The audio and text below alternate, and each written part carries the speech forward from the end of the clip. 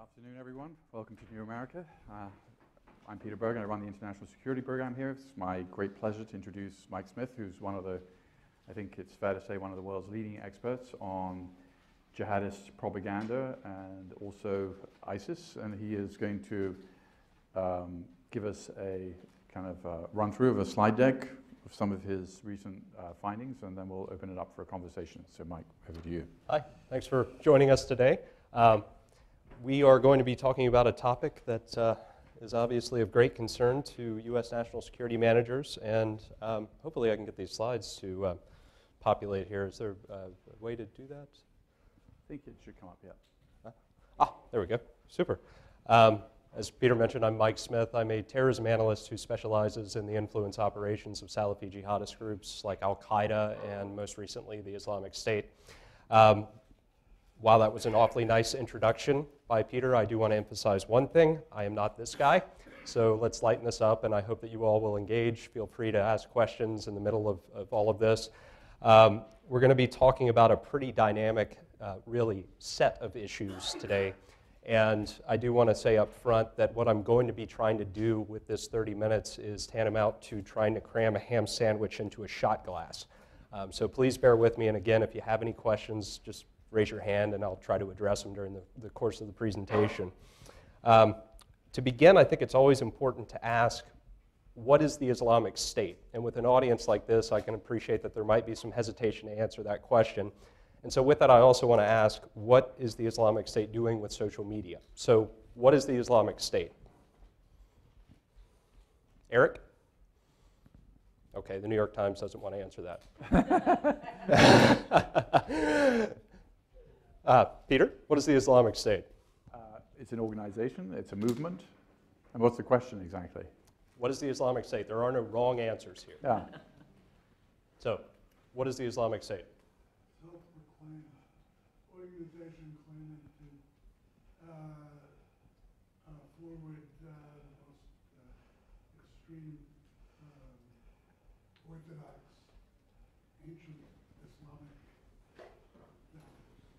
Wow, that's almost up there with that definition for the, the term terrorism that a couple academics gave a couple years ago that, that extended for many paragraphs. But I do appreciate the input, and, and there's no wrong answer here. But I think, in the most simplest of terms, the Islamic State is a terrorist organization. And if people want to dispute that, well, the problem with that is that they've self proclaimed to be a terrorist organization. This is a montage of screenshots of the video, kill them wherever you find them, that uh, featured a variety of missives from participants in the Paris plot of November 2015, in which you can see one of the coordinators of the attacks uh, notes that we are terrorists. They are the ones who terrorize those who terrorize the Muslims.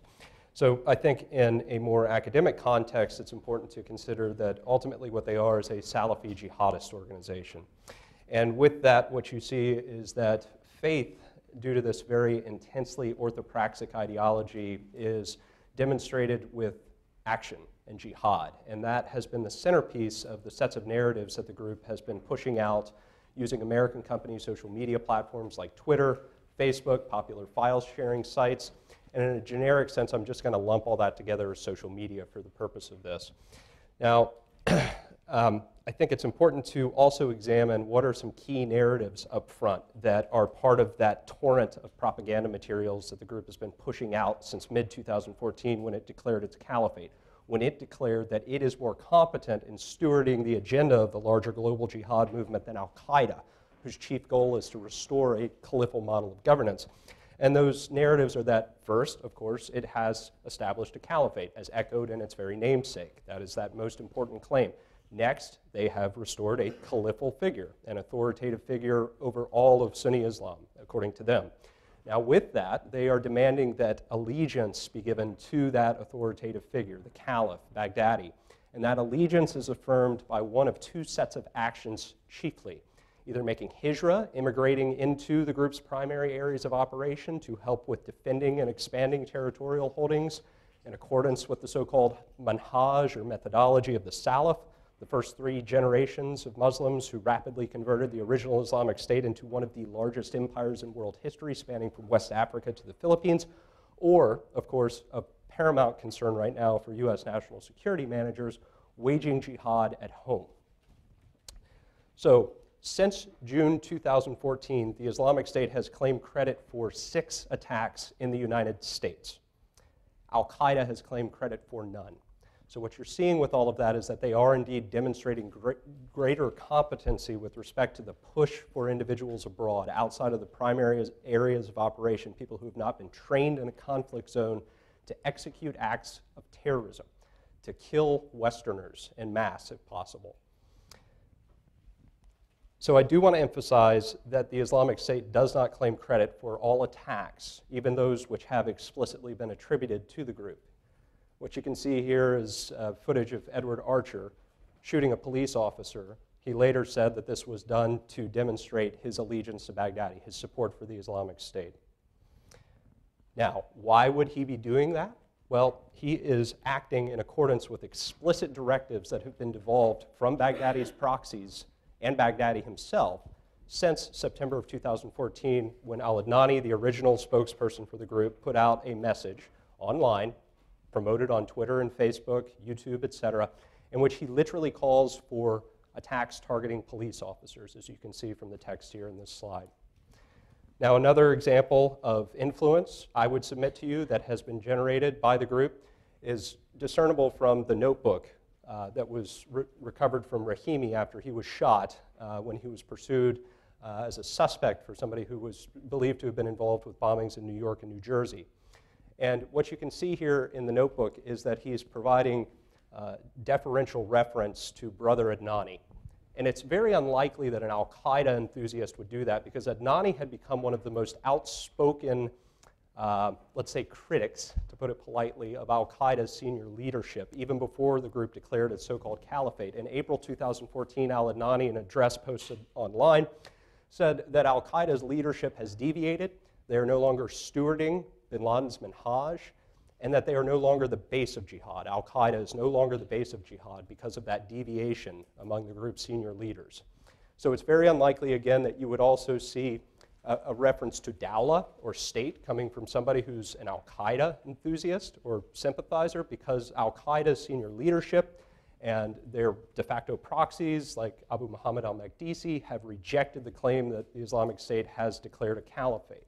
So there is no dawla according to them.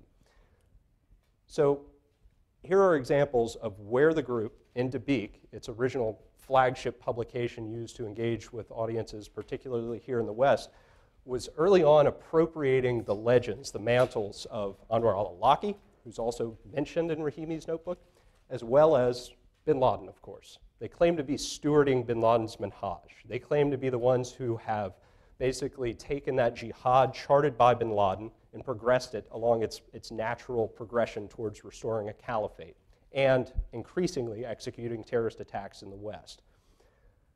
So, to begin, I think it's important to take a look at you know, how the group is using social media, of course, to help with amplifying those narratives. And what you can see here on the left of this are examples of a uh, member of the Islamic State in an official video. Um, he's actually from Kurdistan, referring to himself with the kunya bin Laden. Now, I was able to reach out to the bin Laden family through an intermediary and confirm that that is actually not a member of their family. Um, and then below that, you can see uh, screenshots of a video that the Islamic State put out early in 2016 to petition for defections from al Shabaab. They wanted to build more support in East Africa, and they open with a clip of bin Laden discussing the importance of joining the group which is most practicing of the faith and demonstrating that practice through action. Now, what you can see here in the center is an example of a, uh, one of the many Twitter accounts that was managed by Sally Jones.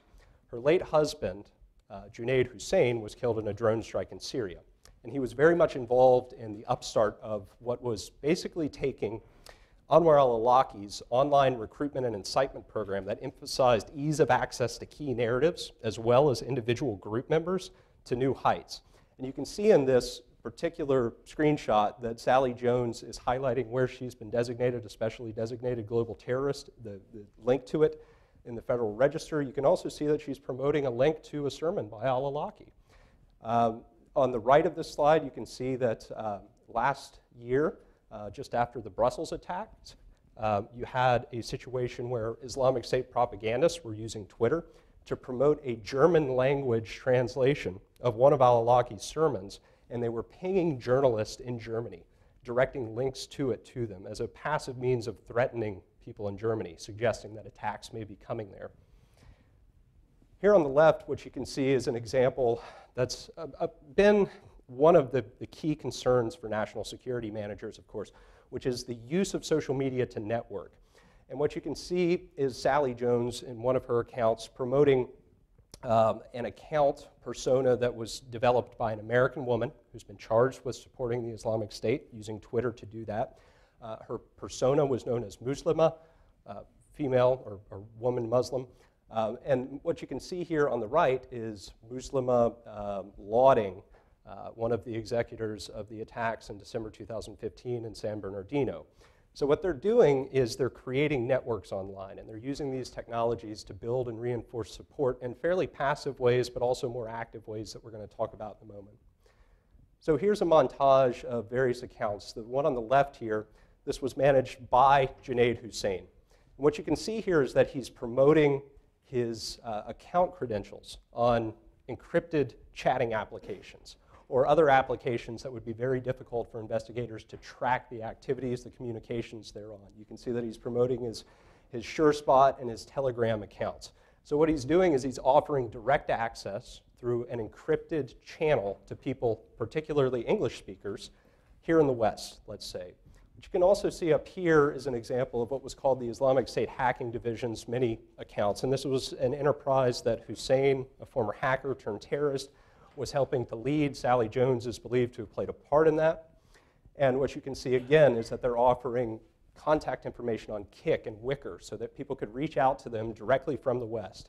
What you can see on the right are excerpts of the ninth edition of Dabiq, where the Islamic State is highlighting that the two people responsible for the attack in Garland, Texas, or perhaps you might call it a failed attack, were actually engaging via Twitter, which is well known with Junaid Hussain.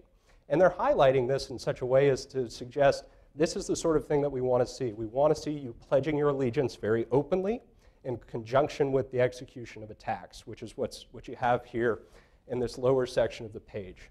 So, what they're doing is they're engineering perceptions of a, a pattern of activity which is used to demonstrate one's allegiance to the group. Now, next, what you can see here is in the third issue of Dabiq that was put out in the fall of 2014, very early on, they provided addresses to use to not only contact via email, but they also provided an encryption key. And a lot of people have, you know, until recently, been pushing back on this idea that the Islamic State has been encouraging people to use these encrypted capabilities to communicate remotely around the world in very difficult ways when it comes to tracking all of those communications. Now, what's been occurring over the past year is that there's been an increased emphasis on the use of Telegram Messenger channels. It's a microblogging feature that Telegram Messenger rolled out, which you can see in this screenshot as an example of what you would call a technical support team uh, channel that is communicating to the brothers in Belgium just after the attacks in Brussels uh, that they need to be mindful of using VPNs, virtual private networks, which are used to mask your physical location when you're online and to stay away from social media because by that point there was so much work tracking the activities of the Islamic State's members and supporters in social media. And they're also encouraging use of encrypted capabilities, which should be well known to the brothers in Belgium by this point, because as we now know, there was training that was provided in Syria for people who were deployed into the West in the use of encrypted technologies, as uh, various reporters in the room have reported on. And then what you can see here is when they started to promote all of these Telegram Messenger channels, the chief way to do that was on Twitter, and that remains a key tool used despite this crackdown. So here you have one of the bigger problems when it comes to the use of all this social media. This is an example of the list, the second major list that Islamic State's hacking division pushed out in 2015. And this was the list that was provided to Junaid Hussain and others by Ardit Ferizi, who has since been charged with providing material support by gathering information about US government employees, mostly working in the national security community, that information was posted online. It included everything from their physical work locations to information about their passwords for their email accounts, their direct lines in their offices. And the way that this was pushed out again was using Twitter. It's all about ease of access. And then they can start to track people who retweet and like these tweets. And that woman who created the Muslima account, whom I mentioned earlier, uh, that persona rather on Twitter, that's what she was charged with doing, was promoting this, engaging in terroristic threats online by promoting links to this. What you can see here is how they went about doing this. They were using uh, what is called Cloudflare to mask where this was posted. And some hacktivists I was engaging with at the time were able to work around that and determine that this list was actually posted on a website that they had hacked into that's hosted in the United States. And there's the address for it right there. So if you were to click on this, it would not take you to that address. So this is another thing that they're doing. They're using these technologies to make it very difficult for officials to locate where something is hosted and take it down. And we'll see more of that in just a minute. Now, in this slide, obviously, this is a big issue of concern to US national security managers when the Islamic State is tweeting, literally tweeting, home addresses for people like CIA Director Brennan, DNI Clapper, Alexander. You also see up here General Flynn. Within about five minutes of this being tweeted, I'm on the phone with General Flynn, who's a pal, and he's saying, Well, gee, Mike, that actually is my address. Thank God I moved two months ago. So these are very powerful tools that can be used in a variety of ways to encourage violence. And it's not just about narratives that are meant to incite violence, it's also about providing actual targets. And if we have any psychiatrists in the room, I'm sure that you could agree that that helps to increase the appeal of what they're urging because it, it helps you to reconcile that this is doable when you actually have a target, not just a generic go out and kill civilians. Here's another issue that we run into with them using social media so prolifically. This was a Twitter account managed by Sally Jones, and she had taken some time away from her otherwise prolific social media activities and suddenly reemerged on Twitter and very quickly started harassing New York Times reporter Rukmini Callimachi, who covers the Islamic State and Al Qaeda for the Times. Here you can see me tweeting screenshots of her tweets, which she subsequently deleted. I was able to capture that information before Sally removed it from her account. And this is where Sally is retweeting my tweet and also commenting on it, saying that, you know, Rukmini's relying on a male to defend her honor, basically. So that's another problem that you run into when you actually have known Islamic State members who are designated specially designated global terrorists harassing reporters and officials or analysts. All of that can serve to help elicit thoughts about me or Rukmini as a good target for somebody. So that's another big problem that you run into with the use of these technologies.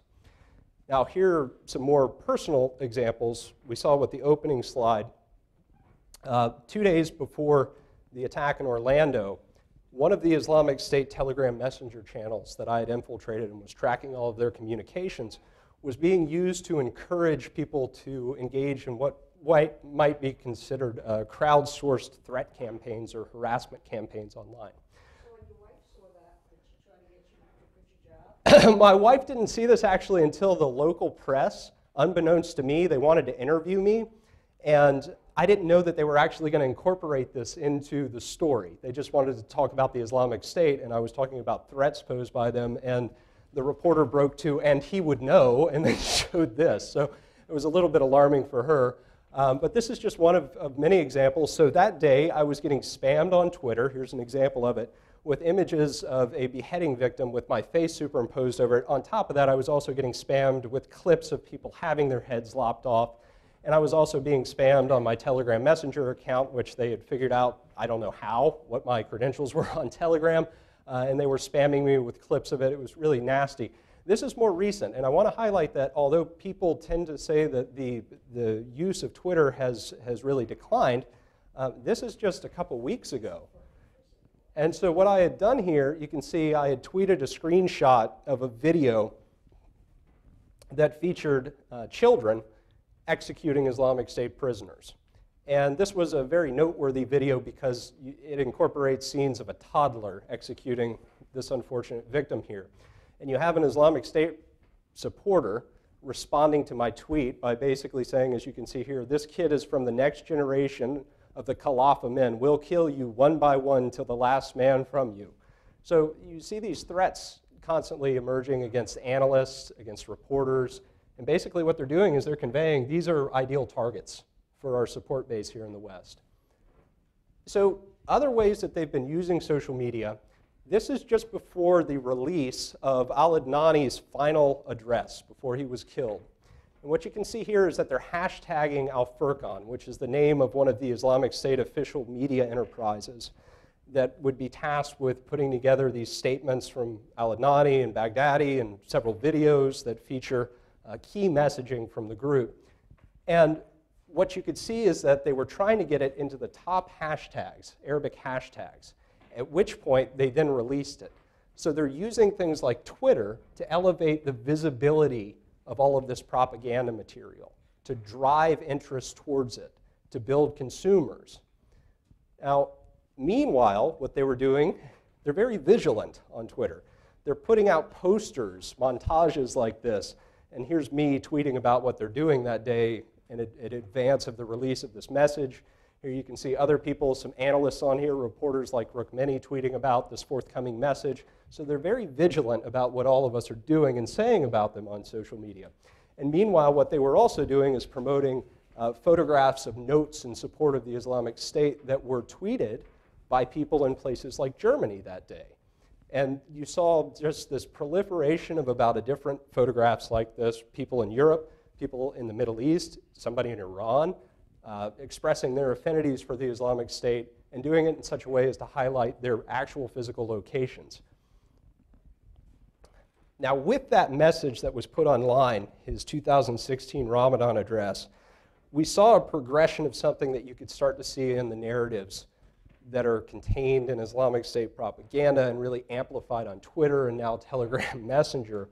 And, and that, that shift has been away from encouraging people to immigrate into a place like Syria and to instead consider supporting the group by executing attacks at home.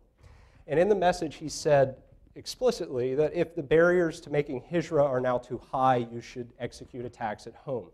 And he continued to assuage trepidations among those who would be concerned about the permissibility of mass violence, killing just anybody, which might even include Muslims in mass casualty attacks, by saying that there is no such thing as the sanctity of blood in a place like the United States. He's basically pushing as hard as he can for people who are sympathetic to the group to move to the next level, to actually involve themselves in real actions that they're calling for to affirm their allegiance to Baghdadi. So this is me a couple weeks later on Dateline, the day after the attack in Orlando. And what I'm discussing is the, the matter of why Mateen would have called into a 911 line or a uh, emergency response center. Obviously, he knew that that would be recorded. Now, if you go back to October 2014, in the fourth issue of Dabiq, they're literally saying that aside from it being very important for attacks to occur in the United States and various countries in Europe and Australia, they're also saying that it is very important that the attacks be clearly attributed to the Islamic State. Here, what you can see is that they're competing with Al Qaeda for influence by way of spilling the blood of Westerners. And they literally say that it has to be attributed to the Islamic State in such a way that the crusader media cannot confuse this as random violence. So here's an example of Mateen's 911 call when it was released, links to that recording being promoted on Islamic State linked Telegram messenger channels.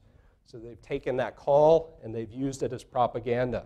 They're using it to show people that this can be done and it doesn't take much in the way of resources. Obviously, as we're going to see, it can just take a large truck or a car. Indeed, in that September 2014 address that I mentioned earlier, Al Adnani was explicitly calling for the use of cars to execute attacks if possible. He also said a boot and a rock will do, or a fist. The following day, on Islamic State linked Telegram messenger channels like this one, this is Khalifa News, which pushes out a lot of English language content, you saw that they were promoting a forthcoming message from a senior figure. You can see again they're hashtagging Al Furqan. And of course, later in the day, they released a message from Baghdadi. And this is how this happens. So they put out a message, And then it's pushed out onto popular file sharing sites like Sendvid. Again, it's about ease of access. And you can see that very quickly, within hours, just this one copy on Sendvid had you know, more than 686 views, really listens, because it's just an audio file. That same day on Twitter, you'll notice that it's a very small following, only 32 followers. This account was live for probably just a couple hours. Here's somebody, an Islamic State supporter, promoting a copy of that same message from al Baghdadi that was posted to YouTube. And within a couple hours, that, that single copy, and keep in mind, you could see all those links, if I go back a slide, to all these different places Google Drive, SoundCloud, uh, YouTube, archive.org. What you can see here is that it's been listened to over 2,800 times in the course of a couple hours. So you're achieving an international broadcast reach and consumership that is far and away far more uh, aggressive, and, and the consumership, I would submit to you, probably the volume of it is far higher than what you see with Al Qaeda in its propaganda distribution. So here's another example of a Twitter account recently being used uh, the 30th of December 2016 to promote Islamic State propaganda. And this is the 30th of December. And notice that they're pushing out a link to a copy of an address from al Adnani, at this point deceased, that was posted to YouTube, as we can see here, literally a month and a half prior. And it had been listened to 5,500 times. So, again, this is about promoting the ease of access to all of this incitement focused narrative. Here's another Telegram Messenger channel account that is promoting uh, the release of the Murtad Vote, which was a flyer that Al Hayat, which is one of the official uh, propaganda enterprises for the Islamic State put out in which they're calling for attacks to coincide with the election. And they're providing justification for those attacks. In there, they note that, as you can see here, the blood of Crusader voters is even more deserving of being spilled than the blood of Crusader combatants. Excuse the, the typo there. The same would apply to the blood of female voters. So again, they're pushing, they're trying to assuage trepidations of would be terrorists about the outcomes of a mass casualty attack. You know, is it okay to kill other Muslims? Is it okay to kill women? So they're pushing as hard as they can with these narratives in very explicit ways and saying this is not only permissible, this is what is demanded of you to affirm your allegiance to Baghdadi. Now, what you can see on this Telegram Messenger channel, this is one of the channels that's dedicated to encouraging people to continue, continue with using Twitter to promote this type of content. And so what you have here is a message that can be easily copied and pasted. It'll fit character space wise right into a tweet. And with it, links to some of the propaganda material. Here's a Twitter account that was used explicitly to promote that flyer. And this is on election day, and you can see that they're using popular hashtags Crooked Hillary, Donald Trump, Election Day, Election Day Countdown, Election 2016 to try to drive attention to this content. Now, here is another interesting problem for national security managers, and that is that not only has the emphasis been increasingly on the call to wage jihad at home in propaganda that's tailored for audiences here in the West, they have increasingly incorporated uh, what they call just terror tactics, where they provide the consumer with ideas about types of operations, not just targets, but types of operations that they can execute in order to affirm their allegiance to Baghdadi. And in this case, you see that they're encouraging the use of large trucks to execute attacks in very populated areas. And what you can see is that they're, they're saying that an affordable weapon would be a rental truck and an excellent target would be the Macy's Day Parade. Now, this is November 2016 that they had pushed out this edition of Rumiyah, their, their supplement to Dabiq. And what I want to point out here is that pursuant to all of these explicit calls for attacks and types of attacks, and pursuant to what appears to be a capacity to perhaps even accelerate the radicalization process, there's been a pretty big shift in how national security managers, especially law enforcement officials like FBI Director Comey, interpret those calls for attacks versus a year ago. Days after the Paris attacks, Director Comey um, issued a statement that said Islamic State propaganda is not a credible source of intelligence about what we can expect in the way of threats. Well, that was interesting because Abdelhamid Abaaoud, whom I showed you a montage of his comments during his missive in the video that was celebrating the attacks that had occurred in Paris. Well, seven months earlier, he had been a feature uh, piece in an issue of Dabiq that was highlighting his efforts to coordinate attacks in Europe. So they were very explicitly saying what their objectives were. And there are many other sets of propaganda materials in which they were calling for attacks in France, specifically in the buildup to the attacks. Uh, there was a video put out in Nasheed in April 2015 uh, where they highlighted attack plot concepts in the West uh, to include France, Germany, the UK, and Australia, and the United States. And in that video, they said sleeper cells were waiting in Germany. And it has since come to light that they began establishing those sleeper cells in October of 2014 in Germany. So they've been giving us insights into where we can expect them to do things. They've also been demonstrating a capacity to incite violence in ways that is consistent with the types of attacks that they're calling for. And so, fortunately, FBI and other agencies went on high alert when that came out. And a couple days later, they arrested a guy uh, a Brooklyn resident who was apparently expressing a desire to execute an attack in Manhattan using a large truck. So here's another example of them calling for attacks. This is in November. Uh, this is put online November 26, 2016, an official video that provides an extensive and very gruesome demonstration of how to kill people using a kitchen knife and it's a French member providing these instructions. And in the video, he prefaces the demonstration of how to kill somebody effectively using an easy to acquire instrument like a kitchen knife by saying they close the door of hijra on you, so open the door of jihad on them. So they've progressed that narrative where Al Adnani was saying, if they have closed the door to hijra, to now saying they have closed the door to hijra. So they are continuing to push harder for tax here in the West. What you can see here is that they're obviously using YouTube to promote this. Within about two or three hours of this particular copy coming out, it had been viewed 1,100 times. And it's also being put out on other YouTube uh, posts that you can see here, SendVid. Uh, obviously, Google Drive would be mixed in there somewhere. Um, so, two days later, we have an attack at Ohio State University. And it begins with the use of a car, and it concludes with the use of a kitchen knife. And what I've provided here is an excerpt of Al Adnani's September 2014 address in which he called for the use of cars for attacks.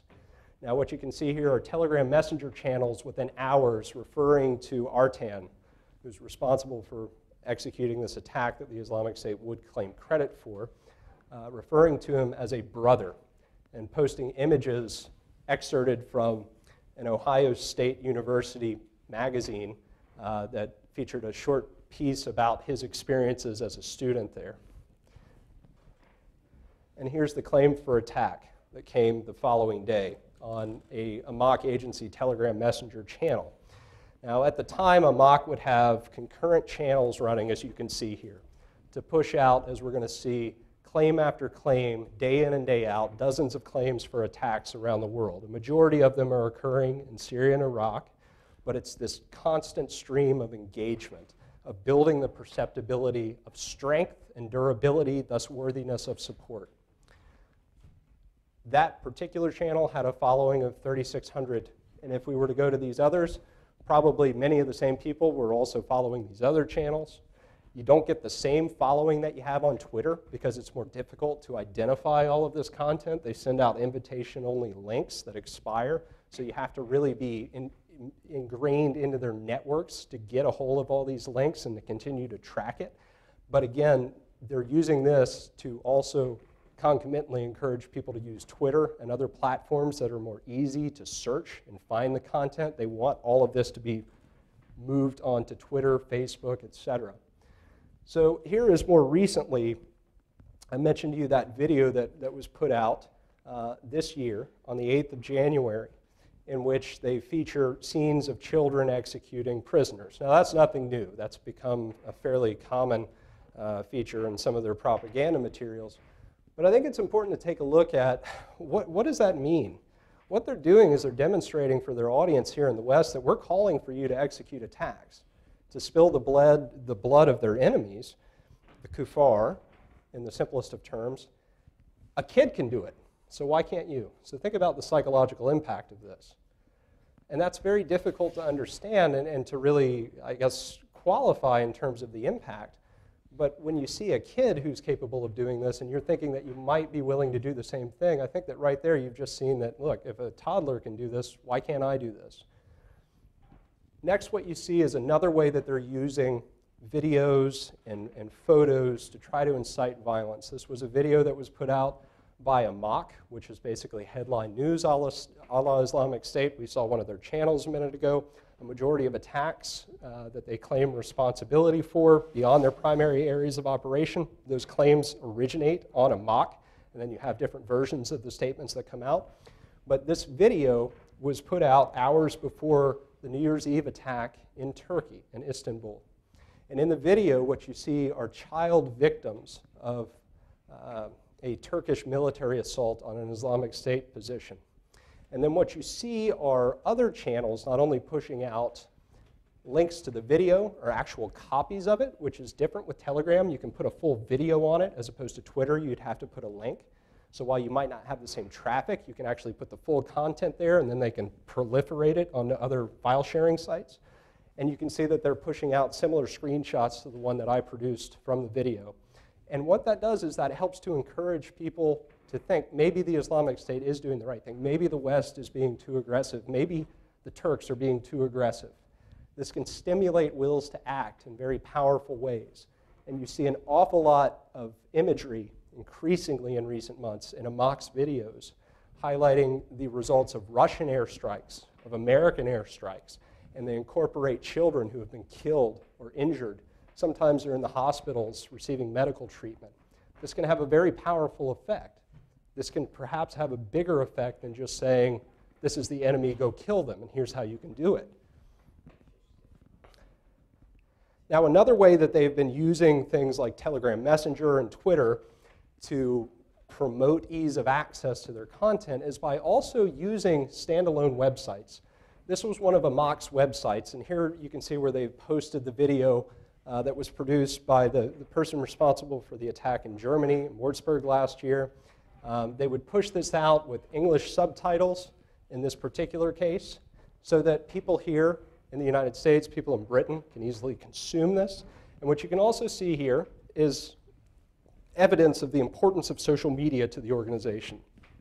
So on the English language Amaq Agency website, you have all of these options, things that you can click on uh, Tumblr, LinkedIn, Pinterest, Google, uh, Twitter, Facebook, Telegram to promote links to that video. It's that easy. Just hit the button and get it out there so other people can see it. And in the process of that, on Twitter in particular or Facebook, recruiters can see you posting it. And maybe when they see that, they'll want to come looking and knocking on your door and figuring out if you're really willing to do something more than just post messaging on the internet. So here is an interesting way that they are also increasing the ease of access by technology development of their own. What you can see here is on the Arabic language website, and these are suspended every other day, and then they pop up a new one. You have them promoting a add-on or plug-in for Firefox browser for Amaq. You add it to your browser, you click the button, and it auto-directs you to Amaq agency's Arabic language websites. Whenever they're suspended, the next one comes up, and it works great. It works a lot better than the Android app that they developed. and they've developed several versions of this app because of glitches with it, where you can plug in this app to an Android phone and get constant pings of Amaq's reports throughout the day. Everything from destroying a tank in Mosul to a suicide operation in Baghdad. And what you can see here is one of very few dubious claims issued in that torrent of claims of responsibility for attacks from Amaq, where they're saying that they assassinated an American officer in the Turkish city of Adana. I say it's dubious because the Department of Defense has denied that claim. Um, I take them at their word for it. But again, this is about ease of access, and they're even developing their own technologies to streamline it to rely less on social media platforms. Here, what you can see is me thinking two or three days ago, why don't I see that Firefox add on for the English language website that they've been increasingly promoting, where you can find English language versions of their official propaganda, which is often originally published or produced in Arabic or other languages. And then I'm, I'm thinking as I'm putting together this presentation, it would, it would be reasonable to anticipate that because they're promoting this Halumu site more and more. And sure enough, as I'm putting together the presentation, they roll out a Firefox add-on for it. So here is an example of what you find on Halumu. You can see these drop-down tabs, translations of speeches by Baghdadi, al-Adnani, uh, one of which I referenced earlier. this is about ease of access to content that you can post links to, you can download it, you can post the full content on your own website, you can pass it along around among your friends. Here's an example of how they're using Just Paste It to push out a daily report. And again, this is about engagement. Al Qaeda does not put out daily reports on their operations across the larger area where they claim to have control of territory or be, be stewarding their jihad. And you get this from the Islamic State, and you get it in many different languages. And this is eh, one of a daily example of links to the English language version of that. And again, they're using popular file sharing sites to push this out. Here's an example of what's very difficult to, again, qualify the impacts of, I guess, other than to say that the group has managed to stimulate the will to act more prolifically than Al Qaeda has since it declared its caliphate. This is the Amaq agency infographic pushed out via Telegram on one of its channels that highlighted the group executed more than 1,100 suicide attacks in Syria and Iraq last year. So, what it's doing here is it's presenting the perception of a group that is more dedicated to the cause than perhaps Al Qaeda and others that are still competing with it that have yet to join the group.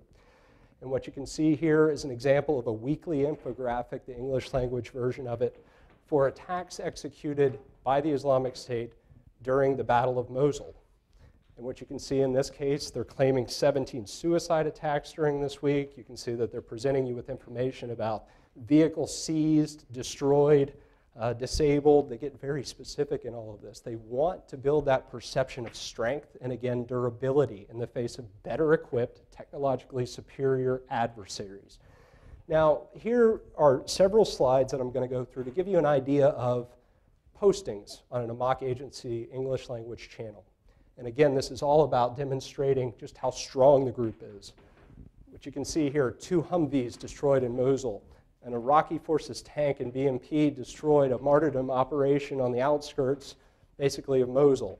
Al Bab, three Syrian opposition militants killed. Keep going down. This is just the first post on the 15th of January. This is just some of it to give you an idea. I mean, claim after claim for attacks and then what you have here are things like a parked car bomb is detonated against a gathering of Shiites in Baghdad. You know, a, an attack, uh, the Islamic State fighters are, are advancing in Deir ez-Zor. And then you have these images that are incorporated into it and these specific reports about operations in Deir ez-Zor, these sit reps. And then you have these videos that come out that highlight the successes in their battles. And these are very short videos that just give you some clips. And so people will say, well, there's been a slowdown in Islamic State propaganda production. And what they're talking about are these lengthier 40 minute videos that will provide footage of multiple battles. And you'll have uh, key figures like Turki al-Binali providing statements about the importance of supporting the Islamic State and waging jihad and executing attacks, or demonstrations of how to kill people with a knife. But you still have this steady torrent of these short videos from Amaq and then on top of that, you have unofficial Islamic State propaganda that's pushed out by the likes of Asawardi media. And all of this is, again, used to build and reinforce support, to build that perception of strength and durability. So you can see a tank that's been destroyed, you can see a fighter. These are just screenshots of the videos as they're playing. You know, more going on. That's one of the, the enemy combatants they've killed. Then you can see in this, same day, this is just within a few minutes, the amount of stuff that they push out. Here's a scene of a suicide attack, a dual suicide bombing uh, in Mosul. So you see this, and you'd see it blowing up in the distance. Here's the other car. They have these basically, they rig these mobile fortresses. So you try to stop this with basic artillery, that can be pretty difficult. And they'll drive them into their enemy's positions and detonate them. You can see it blowing up in the distance. And then you have a sit rep here for some fighting that's going on in northern Sinai. They've been steadily claiming credit for killing Egyptian military forces over the past year in the Sinai. You don't hear a lot of reporting about that. You don't hear a lot of reporting about their attacks in Somalia, for instance, like this one in Mogadishu, where they've increasingly been conducting terrorist attacks. And so, Asawardi Media, which I mentioned earlier, this is a screenshot of one of their Twitter accounts in 2015, 14,000 plus followers. This would have taken about a day for them to amass 14,000 plus followers on Twitter at that point in time. Asawardi Media, this is this past week, a couple days ago, one of their, this is their 41st Telegram Messenger channel. And within an hour, they've got 1,000 followers on it. Even though it's more difficult to find your way onto these channels in Telegram, they still are able to build that support base, that consumership base. So early in 2016, Twitter acknowledged that there was a pretty big problem when they, in a blog post, advised that they had closed 125,000 accounts, mostly linked to the Islamic State. And a couple months later, the Wall Street Journal ran a story that highlighted some of my work tracking this activity. And in it, they provided screenshots of some engagements between me and two Islamic State propagandists, in which I'm asking Does the suspension do anything to deter you from continuing to exploit these technologies? And here are the actual tweets and correspondence. They, they simplified it, but basically what they're saying is no. If anything, it makes them look better. Indeed, they are touting as credentials the number of times that their accounts have been closed. In this case, this is the 431st account couple months later, Twitter acknowledges that it's closed 235,000 accounts. So, what I would submit to you is that we have to start looking at questions such as what is it that can be done to more effectively deter the exploitations of these technologies? Through all of this constant engagement, through this torrent of propaganda materials, that passive engagement to the actual real active engagement, the identification of prospective recruits and the, the interactions with them openly on Twitter, or the provision of, of account credentials for encrypted chatting applications openly on Twitter and Facebook. What can be done to, to deter all of that? And that's something that Peter and I are going to talk about. Any questions before we get going about those slides? Yes? Uh, as the Party of the United States declined, it's uh, felt that more and more of its members were FBI agents or informers or so on. Uh-huh.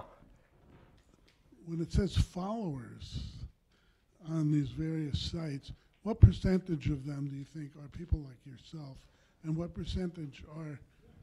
Um, That's a very important question. When you went back to 2015 and you would see a following for an Islamic State Twitter account that sometimes would have 40,000 followers, I, I would submit that oftentimes it may have even been the case that they were creating accounts that were used to simply follow key accounts and build the perception of this being popular. But again, that's very important because they are enhancing the perceptibility of legitimacy with all that activity. They're looking popular, they're looking like they're liked.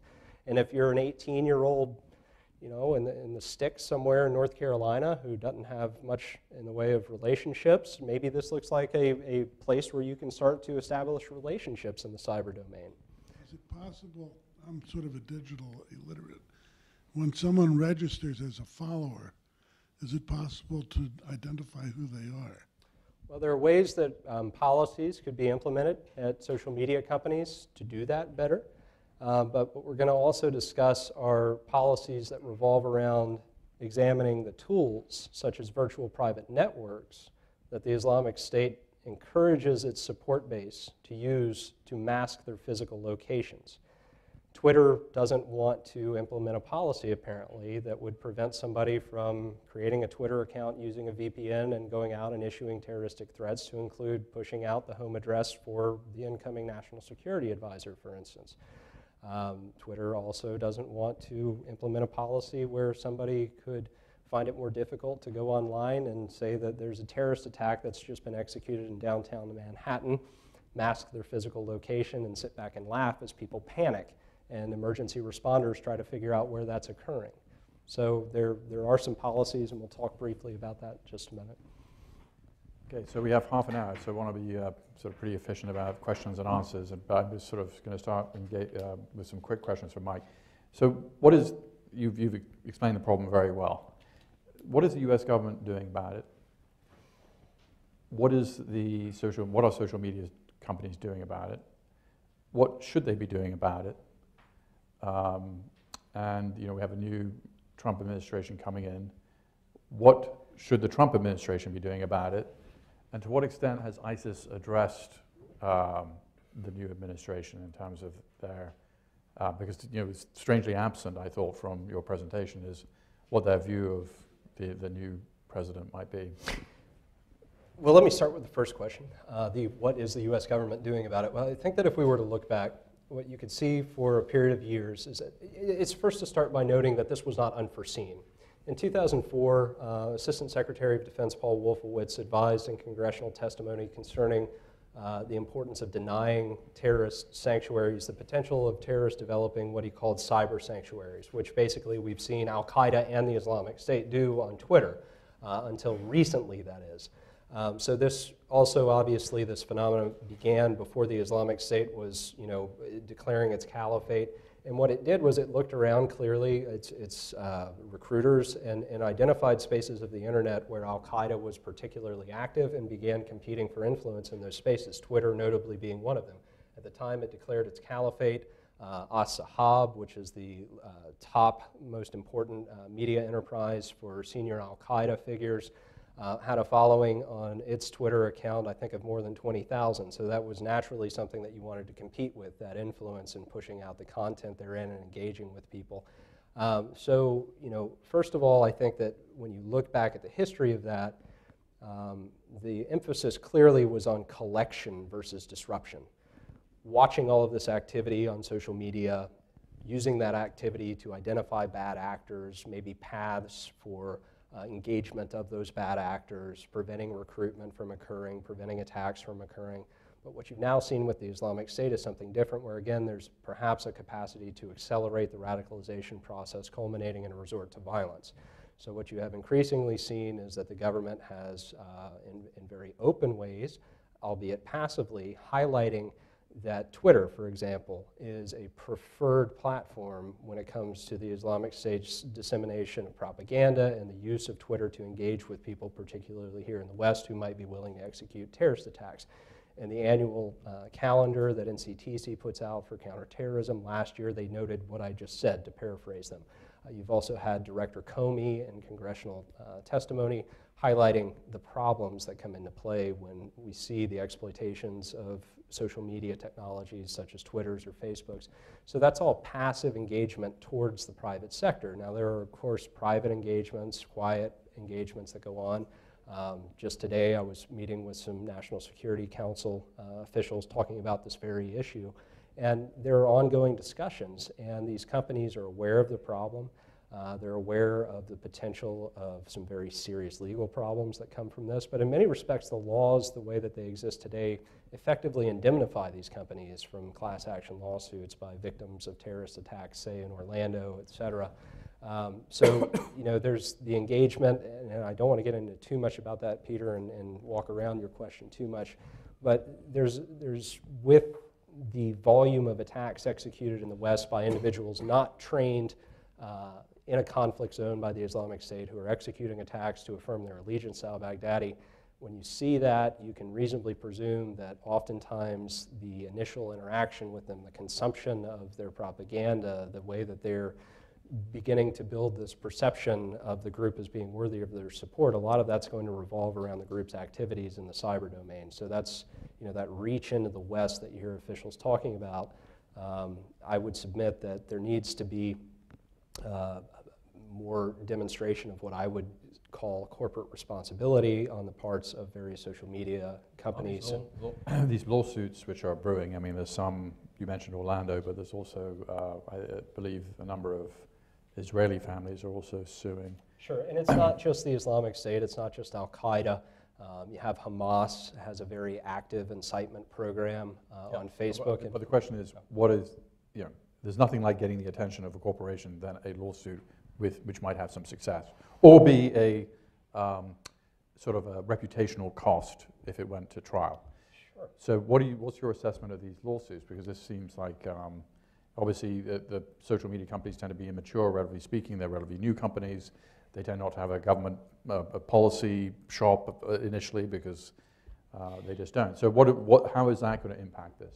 Well, I, I, I think that uh, my sense, and I'm not a legal scholar, is that most of these companies, again, the way that the laws are designed in their favor right now, they're effectively indemnified um, just by, by the U.S. Code of Law right now. Um, What and- about lawsuits outside the United States? Well, I'm not sure. I, again, I'm not a legal scholar, but I do think that it poses PR problems for these companies, most of which are publicly traded, and that can serve to influence um, decisions about policies that could be developed and implemented to more effectively deter uh, this type of activity, this exploitation of their technologies.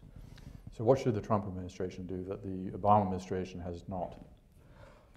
Well, I, I think that um, there are some ways that perhaps uh, the current legal framework, which um, exists, could be amended uh, in such a way as to uh, encourage uh, various companies such as Twitter, Facebook, uh, Google um, to implement policies, or frankly, for that matter, to literally require them to, that would more effectively deter a lot of this exploitation of their technologies.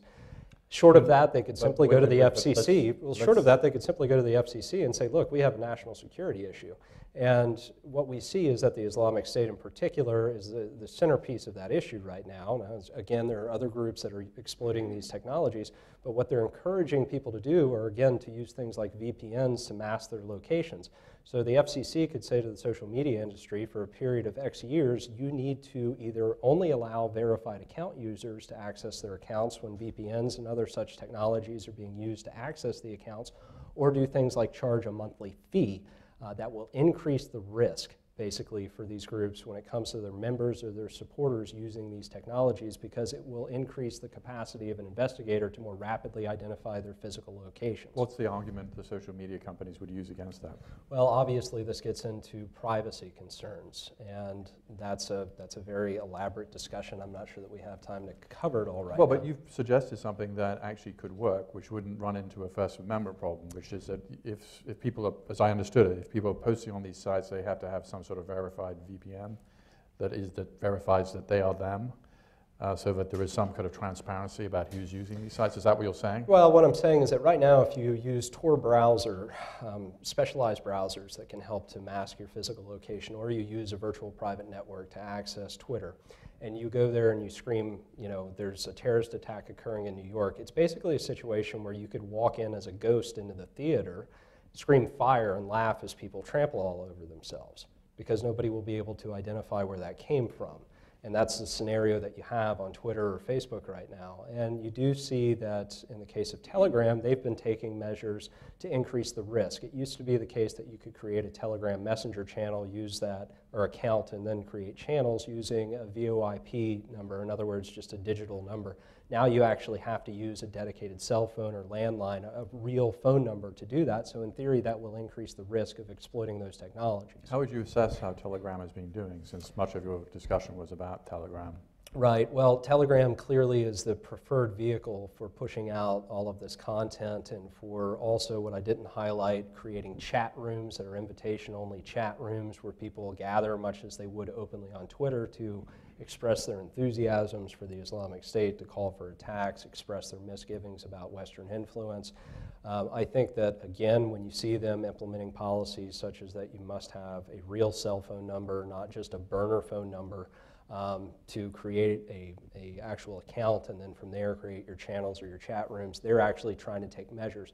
What you also see is a very high rate of suspension of key Arabic language accounts. That suggests to me that some of these uh, groups in the Middle East, particularly in Saudi Arabia, that are tracking a lot of this activity, are presenting these invitation links to Telegram, and they're very they're being very quick to suspend um, these channels and the account So it sounds like Telegram is doing a much better job than it was even It- six it- months ago or a year ago. Yeah, it, it certainly has been the case. Um, in the foreign policy report that I highlighted a screenshot of, um, I noted uh, that by June of 2016, even Twitter was clearly doing more to more rapidly exp- uh, uh, suspend clusters of accounts that were linking together and posting out hashtags that are typically associated with Islamic State propaganda.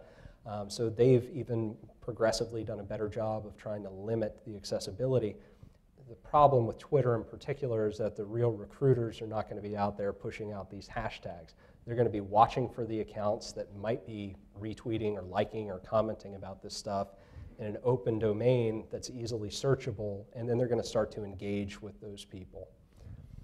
Um, how would you assess the veracity of ISIS claims for an attack? So, because I mean, we often have claims, but you also interestingly said, you know, they didn't claim the Edward Archer attack in Philadelphia. So, when you get when you see a claim coming up, how kosher is it in your view?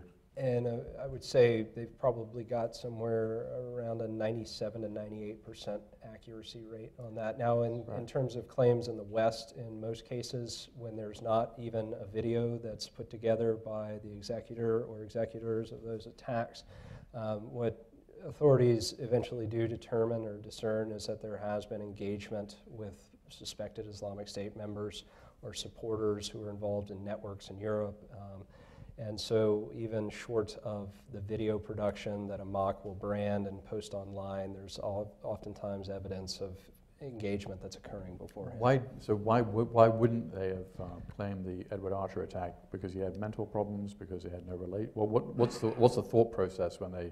Uh, you also mentioned Rahami. They didn't claim the New Jersey attack, right, in your presentation? Well, I, I think that maybe one safe assumption is that in those cases, those individuals didn't really have any engagement to speak of Yeah. that, and some people have surmised that well they've you know survived, and so they could recant in some way, or it could simply be that uh, they don't want to encourage authorities to dig deeper, to work harder in some way on on examining these people's networks, because there might be others who are planning similar attacks. Um, there's so many different um, different ways that you can uh, look at that picture of issues, Peter, but I, I do think that they're very careful, and it boils down to the issue of credibility. They certainly don't want to claim credit for an attack that's executed in the West, and then two days later, Al Qaeda pushes out a video in which the, the terrorist affirms that it was, it was meant to demonstrate solidarity with Al Qaeda. Um, so they're very careful about their brand equity and management of that brand equity. So it's very rare for them to claim something that's untrue. I would say it's very rare, yes. Okay, questions. If you have a question, can you raise your hand, identify yourself, and we'll start with the gentleman in back there. My name is uh, Laurent Martellemi. I'm a reporter for Agence France-Presse, uh, i- uh, news agency. Um, the US military have, have said that they have started to use cyber weapons against ISIL, but we don't know uh, very well what are those uh, cyber weapons. Have you, do you have any hints of their efficiency? Do you, do you have uh, yeah, signals that, that uh, these uh, cyber weapons might be uh, used against all this activity that you're describing? I, I think as the gentleman seated in front of you would agree, the best way for me to address that question is to say I am unaware of any such activities. This gentleman here. Thank you. Um, I was wondering, to what extent Can have you s- identify yourself? Just uh, Yes, uh, Aaron Zucker. I'm a student at Johns Hopkins SAIS. Um, to what extent have you seen ISIS rhetoric and online strategy changing as it's been losing territory? I'm, I'm not sure that I would uh, attribute much change there, but again, as I mentioned, there's been a, a steady shift in terms of you know the, the narratives concerned with action items that are meant to affirm your allegiance to Baghdadi, uh, the so-called caliph. Um, in terms of their engagements with people here in the West, in particular, over the past year and a half, there's been the increasing emphasis on the waging jihad at home as the most important thing that you can do. Um, and I do think that it is a matter of pragmatism. Um, you know, you, you can see that even when they promote that in an issue of Dabiq, that they've succeeded in uh, attracting recruits from Trinidad and Tobago. Weeks later, uh, a group, I think, of nine people from Trinidad and Tobago were picked up in Turkey as they were apparently trying to travel into Syria to, to join the group. And so um, there, there has been an increase in the barriers to access, if you will, into the primary areas of operation in the Levant. Um, but of course, what I'm not seeing that's interested, uh, that's interested me quite a bit is that they're not really calling for people to make hijra into the other areas that they claim to be governing. So the group has claimed to have established, as of July of this past year, 35 provinces or wilayat. And 16 of those are located beyond uh, Iraq and Syria, and we're talking about places as far away as the Sinai Peninsula, obviously, Libya, uh, Tunisia, Somalia, uh, the Caucasus, and the Philippines. And so you're not really hearing a lot of calls for people to travel there, which is suggestive that that, that means for the people there to be involved in you know, developing notions of stakeholdership by joining the group and building out these provinces that they claim to be developing and governing in these spaces. And they're less interested in seeing people from the West go there to support all of that. They want them to be waging jihad in the West. Paint a picture for us of, you mentioned Amaq, you mentioned Khalifa News, you painted uh, Furqan, all these different sort of news agencies and uh, propaganda outputs. Now, presumably they're not all in the same newsroom amenable to, uh, um, to being bombed. So how, how does it actually work uh, to the extent that you can make a case? Well, what, what you see, according to a video that was put out in July of last year that highlights the structure of the caliphate, uh, and some of the slides incorporated into the video, they provide you know, a, a glimpse of the structure of their larger media enterprise and all these different brands that are associated with it. And so you have the key brands like Al Furqan that puts out the messages from the senior most leadership. Then you have Al Hayat that puts out publications like Dabiq and more recently Rumiyah and flyers like the one that I mentioned.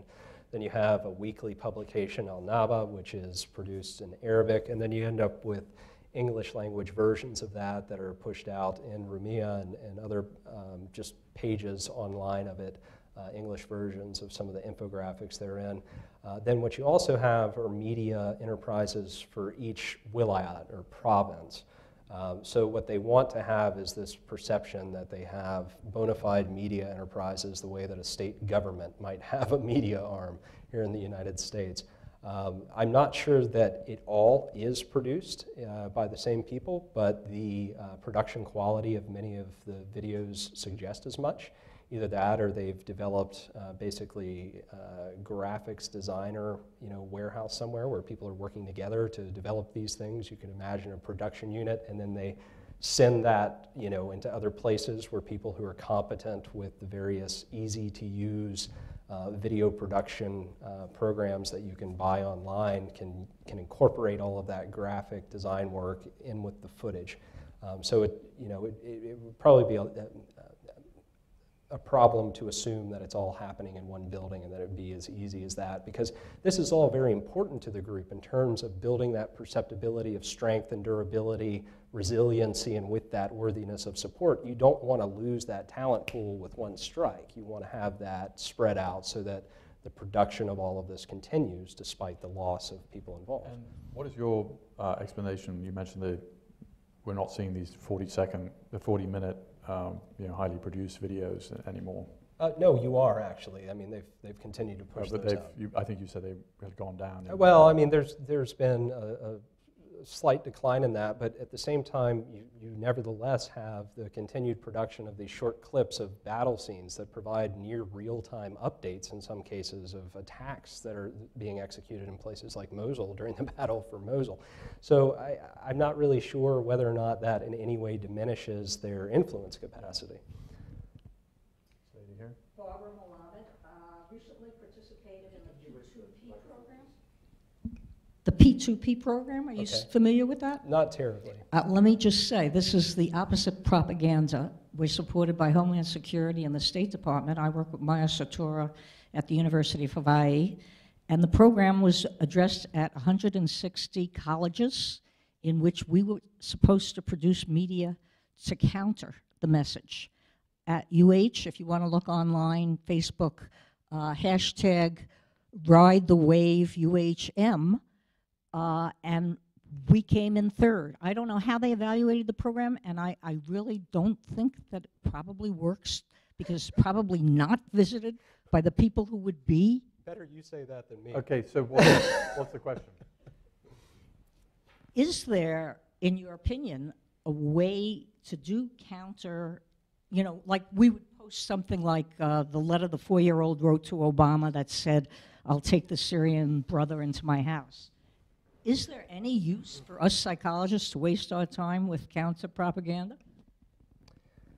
I, I think that it's important to explore anything that can be done to limit the influence capacity of a group like the Islamic State or Al Qaeda or other elements comprising the global jihad movement and other terrorist groups, especially those that are particularly active on the internet. Um, the measurement of efficacy of those activities, that's always, as you know, going to be difficult. I would- That's, well, that, I believe uh, the, the Counterterrorism Center at West Point recently put out something that highlighted that there's not a lot of matchup in terms of the people who are attracted to the propaganda that we're concerned about and their interest in this other stuff. So um, obviously that is suggestive of some deficiencies.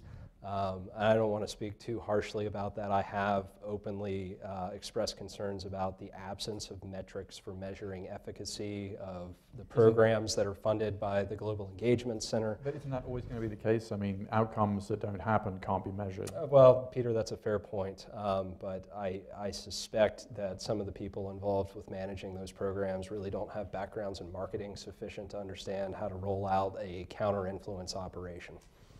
This gentleman over here. We have uh, eight minutes left, so we need to be. Hello, Adam Kaplan with USAID's Office of Transition Initiatives. Um, uh, there's been a fair amount written about the fact that online inducement is not a sufficient, uh, probably a sufficient cause to, for, for, uh, for people to join and go Hijra and go to the Middle East. We've seen this around that often there's um, a, a personal connection required for people to make that leap. First, do you agree with that? And second, are you seeing that change in terms of the online recruitment tools that are presently available? And is the nature of the action presently, if it's not Hijra, if it's something more local, does that change the dynamic about what might be a reasonable inducement tact? Yeah, well, historically, it's clear that um, in the case of Al Qaeda in particular, you know, you would have this potential of generating appeal sufficient for people to travel into conflict zones and try to make contact at that point. But there were also obviously cases where there were networks of people tasked, either they were tasked or they were just passively, you know, volunteering to try to build support for the group and encourage people to do things in the West. With the Islamic State, as I've highlighted, you had various instances where Junaid Hussain, for instance, would remotely engage with people here in the United States or in Europe, or his cohorts would, and use social media as the, the vehicle for that relationship building that you're talking about, that engagement. So just because they're not here to physically interact, I mean, it doesn't necessarily mean that the impact of the interaction is any less impactful. I'm, you know, I, I would just say that what you're also seeing with the Islamic State, unlike Al Qaeda, is they want everybody to join it. Know, Al Qaeda has historically turned away everybody but the best, brightest, most capable candidates for participation in their jihad. And with the Islamic State, you're also seeing a repeated volume of push for attacks in the West, both passively and actively. In the case of the active incitement that Junaid Hussain would be involved with, um, that you just don't see that volume of engagement with Al Qaeda. So it presents a, a, a, larger set of potential problems and impact with that. I mean, just the engagement rate being so much higher, both active and passive. Uh, but it's a fair point that historically there's a lot of interaction that is involved with inducing people's support for these organizations. I just think that the Islamic State has managed to supplement an absence of physical networks in some cases with all of that online engagement. This gentleman here, and then the gentleman there. We have five minutes left, so let's make it tight. Hi there, uh, Nick Gorsey, the Heritage Foundation. Um, just wanted to ask in terms of social media usage and recruitment, um, in terms of these marginalized, you know, I, I focused on homegrown recruitment in my uh, thesis, and I found that the like button played a, uh, a role of instant validation. Do you mind touching on that at all? Um, I, I don't want to get too much into that. What I'm more concerned about is not just the instant validation where somebody is developing a notion of, you know, participation in a program, of promoting these things, but also the, the problems that come into play with respect to all of that activity is very visible. So if you've got a recruiter, say, in London who's watching a teenage girl ostensibly a teenage girl expressing affinities for posts that are put out there promoting Islamic State narratives or even actual propaganda, that person, as we have seen, can use something like Twitter direct message to identify them and then begin to engage with them and measure the extent to which they may be supportive and try to build more support towards, again, that resort to action to, to affirm allegiance as it's called for. Gentleman here.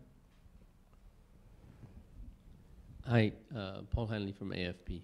Um, two things, if I can slip them in. First, is such an action with the F- FCC, would that be so sweeping that it would deny uh, activists who we want to support in, in countries from using VPNs and VoIPs? Would that be kind of dangerous to, you couldn't separate the, the targets? I'm unaware, I'm unaware of Twitter having received um, export uh, permits from the State Department to support political uh, revolutionary activism, um, just to, as an immediate counterpoint to that. Um, now, I do recognize that there are some, you know, implications there in terms of the use of social media to organize in ways that help to promote American values, among others, in various parts of the world. Um, but at the same time, I mean, I think that we have to, my perspective on it is consider the national security implications of the absence of these policies. Your second question? Uh, you mentioned, I think you mentioned that when they start up, they want to, when ISIS wants to put out things that they, uh, uh, and their channels have been shut down, they start up something, and they push it out to potential viewers or things, which sounds like they have a mailing list. And if that's true, don't you, isn't it easy to shut down their mailing list? No, it's not a mailing list. When you're using something like Twitter with these hashtags, that's an easily searchable platform. So you push out a video with certain hashtags that are common, such as a hashtag of Amaq, for instance, or Al Furqan, or Al Hayat, or Khalafa, or Khalafa EN for English language versions of this stuff. People who are enthusiastic about consuming this stuff and wanting to find it and learn more about it, potential sympathizers, prospective recruits, they're, they're able to search this out on Twitter and Facebook and other, you know, similar sites. And so, Okay, I just, I misunderstood the way you you put it.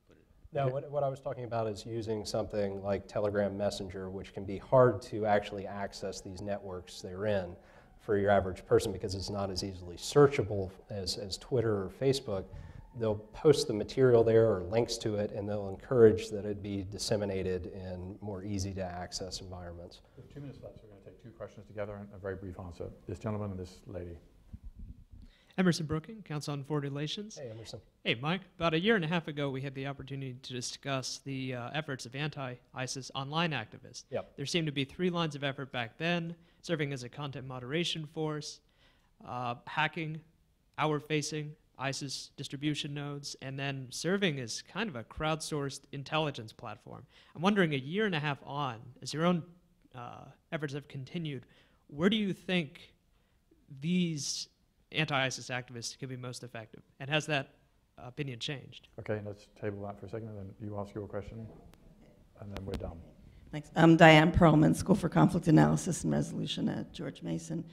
Um, say, in addition to a lot of the counter counter techniques, what about dealing with the underlying grievances, sense of humiliation, moral outrage uh, that are the more causal driving Okay. the, the appeal of And the you have to wrap this up in about 90 seconds. Emerson, I think the most impactful work that some of the so-called hacktivists have engaged in when they've done it um, in a way that's carefully coordinated so there's awareness among um, officials at various agencies is infiltrating these networks to build trust sufficient for a would-be recruiter or supporter to share information that can be used to prevent recruitment activities or perhaps even an attack from occurring, or even after an attack where they're willing to share that they had foreknowledge of an attack in some way and perhaps that person could be used to identify a larger network that might be involved in trying to execute add-on attacks. Um, but that it is at least in 2015 through mid 2016, the presence of Islamic State supporters and propagandists on Twitter, for instance, was so vast that there was a need for more butts in the seats in terms of the engagement to try to ferret out some of this potentially actionable intelligence. And um, that's where I think is most important because most of these people don't have training in counter messaging uh, sufficient to understand how to autonomously develop and roll out, you know, an effective CVE program of, of their own. Now, to your question about the, the narratives and countering all of that in order to limit the influence capacity of groups part of the, the global jihad movement, as we would call it, um, you know, it's important to keep in mind that th- most of these narratives, um, they're not new. I mean, I'll, oh, oh, oh.